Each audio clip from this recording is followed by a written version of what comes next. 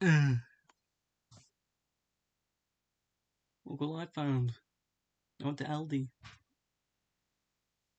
Found some Prime. I've never tried this. I have. I tried it in the store.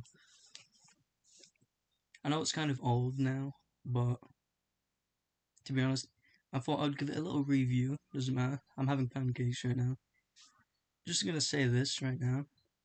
I don't know what's so special about this. It's just a drink. It's it's the lime one. I don't know what the other two taste like.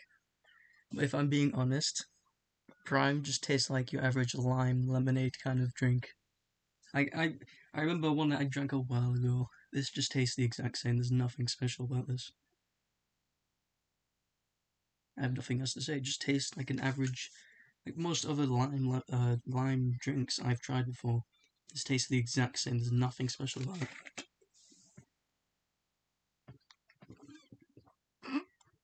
Just spilled it all over myself.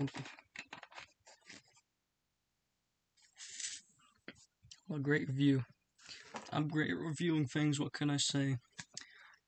I don't review things. I'm never gonna review for anything. I just want to make a video saying this is average, normal drink. It's not special. Stop saying it's special.